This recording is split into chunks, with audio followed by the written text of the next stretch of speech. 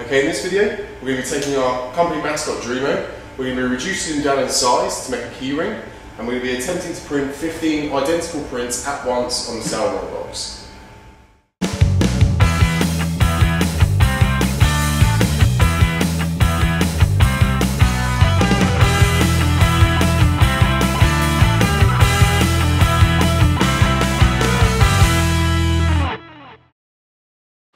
Here's all 15 of the final prints.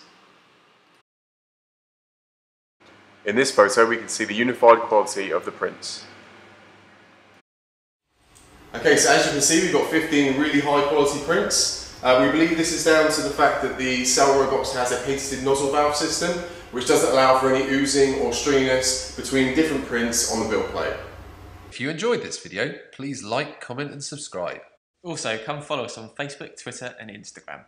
You can find out more about our products and services by visiting dream3d.co.uk.